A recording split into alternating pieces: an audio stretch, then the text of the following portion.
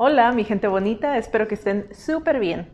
En este canal he hablado varias veces de la depuración, de las cosas que a veces no depuramos por el famoso por si acaso, de las cosas que hay que depurar en 2023 o de las cosas que nadie necesita conservar.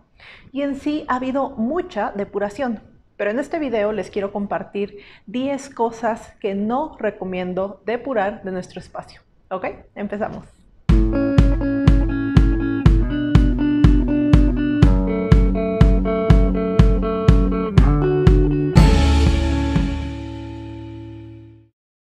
Antes de empezar con la lista, quiero decir algo sobre mi video anterior, que fue un poco polémico.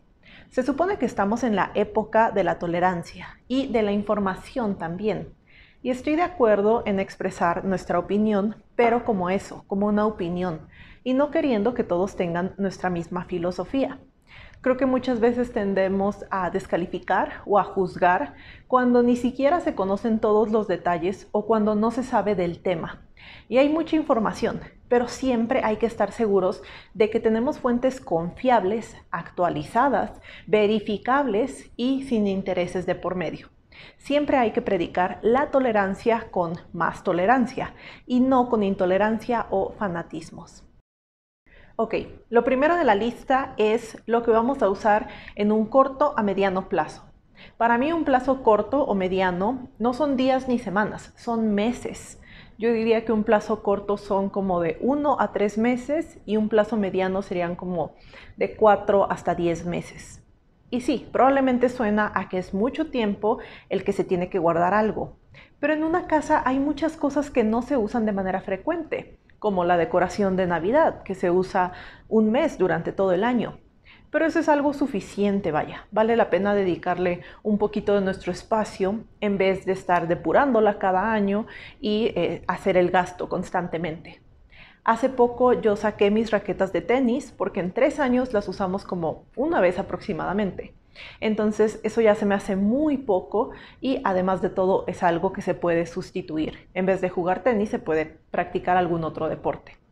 Pero si hay algo que vamos a usar en unos siete meses, es mejor guardarlo. Pueden ser artículos para manualidades, artículos deportivos, cosas de oficina. A veces me preguntan de la ropa para los niños, si se guarda o no. Pero si se va a usar, yo la guardaría, porque si no, es mucho más gasto en todos los aspectos y también es mayor impacto ambiental. 2. Consumibles no perecederos cosas que no tengan fecha de caducidad o que su fecha de caducidad sea muy lejana. Hay alimentos enlatados o hay productos de, cuidado e higiene personal que prácticamente no tienen fecha de caducidad. Entonces, si son consumibles y tenemos mucho tiempo para consumirlos, yo no recomendaría depurarlos. Es mejor irlos usando poco a poco. Y si fue mucha la cantidad, si eso que compramos nos duró un año o más, pues a la siguiente vez que haya que comprarlo, simplemente eh, hay que comprar una cantidad menor para no tener que estarla eh, guardando por tanto tiempo. Y en una casa yo diría que de un 30 a 40% de las cosas que hay son consumibles. Por ejemplo, toda la comida y la bebida, los productos de limpieza o artículos de higiene, vitaminas, suplementos. Entonces, si se puede consumir, es mejor hacerlo a depurarlos y dentro de poco tiempo tener que volverlos a adquirir. Ahora, si es un consumible que ya no vamos a querer usar y que no queremos volver a consumir por nada del mundo, pues ni modo, ahí sí habría que ver eh, quién lo quiere y depurarlo. Y el siguiente punto va de la mano con el anterior y son los consumibles que siempre se utilizan. Muchas veces cuando queremos depurar se nos hace fácil liberar espacio con ese tipo de cosas y queremos esa sensación de depurar mucho o de liberar mucho espacio. Y se nos hace fácil irnos por las cosas fáciles, pero yo recomendaría no depurar eso, porque es mejor consumirlo, aunque nos lleve mucho tiempo. Ya les he dicho que yo compro mucho al medio mayoreo, entonces hay varios consumibles que compro en grandes cantidades, como el papel de baño, que nos dura mucho, o el jabón para manos, también nos dura muchísimo tiempo pero eh, no vale la pena tratar de liberar espacio con ese tipo de cosas que al final de cuentas sí se van a usar. Cremas, detergentes, papel de baño, algún tipo de filtro o bolsas de basura. todo ese tipo de cosas que siempre vamos a estar utilizando, es mejor no depurarlas. Y lo mismo que el punto anterior, si es que fue demasiado, a la siguiente simplemente hay que considerar eso al momento de volver a comprar. Número 4. Cosas ajenas. No hay que depurar lo que no nos toca depurar. Yo sé que a veces no nos aguantamos o ya de plano nos desespera tener algo, pero pues siempre hay que consultarlo primero con la otra persona. Y ya si nos dan el visto bueno, pues adelante. Pero si no, yo creo que simplemente eso va a generar conflicto. Y además, si se hace de esa manera, es probable que se vuelva a comprar lo que depuramos y nos quedemos en la misma situación, pero con algo de conflicto. Me ha tocado varias veces depurar cosas ajenas, pero siempre, siempre ha sido con el consentimiento de la otra persona. Varias veces me han comentado que de repente depuran cosas ajenas y los demás ni cuenta se dan. Y cada quien lo que le funcione, pero eso es algo que eventualmente puede generar conflicto o puede también que un día se depure algo muy importante y no se pueda recuperar. Número 5. Joyería fina. Hay varias razones para esto. Una es porque es algo valioso o es costoso, pero la principal para mí es la versatilidad de casi todas las piezas de joyería fina. Si tenemos algo de oro, por ejemplo, y ya no lo usamos o ya no nos gusta, es tan fácil como fundirlo y hacer nuevas piezas que estén hechas a la medida y a nuestro gusto. Y también hay piedras preciosas que a veces pues, no se pueden modificar en sí, pero se pueden adaptar a otros diseños. Si eran parte, por ejemplo, de unos aretes, ahora se pueden hacer parte de una pulsera o de un dije o cosas así. Y si no queremos usar algo o si ya no nos gusta traer joyas, se puede hacer un diseño para regalarlo. Hay muchas opciones y eso es algo que se ha usado desde hace siglos y que se va a seguir usando. Y siempre va a ser un muy bonito detalle eh, regalar algo así a los demás familia, amigos, pareja, colegas, eh, hijos, y también es para todo tipo de edades, y es para hombres y para mujeres, entonces le veo muchas ventajas el no depurar joyería fina. Por ejemplo, yo tenía unos aretes eh, de oro blanco con diamantitos muy pequeños, pero no valía la pena destruirlos para crear algo nuevo y ya no me gustaban mucho. Entonces se los regalé a alguien para que los regalara a alguien más y funcionó muy bien. Y también hice aretes nuevos de otras piezas de, oro y también los regalé. Y lo pienso volver a hacer con más oro que tengo por ahí. Número 6. Reliquias de la familia. Hay cosas que pasan de generación en generación y pueden ser joyas precisamente, puede ser algún artículo de colección, alguna antigüedad o artículos religiosos, arte, hasta recetas de cocina. Pero a veces hay dos que tres cosas que se tienen han estado desde hace, no sé, 100 años en una familia. Y yo no recomendaría depurar eso, por todo lo que implica, por toda la historia que hay detrás y por el valor que tiene, fuera del valor comercial, vaya. Además, ese tipo de cosas se distribuyen entre varios miembros de la familia, por lo general, entonces no se guarda todo en un solo espacio. Y también, generalmente se puede elegir hasta cierto punto qué es lo que nosotros queremos tener y qué es lo que preferiríamos que alguien más lo guardara. Yo tengo unos aretes y un anillo que usé en mi boda que han estado en mi familia por unos 80 años más o menos. Y me gusta mucho saber que hay historia detrás de eso. Ahora, desde mi punto de vista, no todo califica como reliquias, porque eso depende de, de cada familia y de lo que se guarde. Pero todo lo que mencioné, joyas, antigüedades en perfecto estado o arte o cosas así, yo no recomendaría depurar a menos de que ya no haya a quien heredárselas. Los siguientes son documentos importantes y con validez oficial.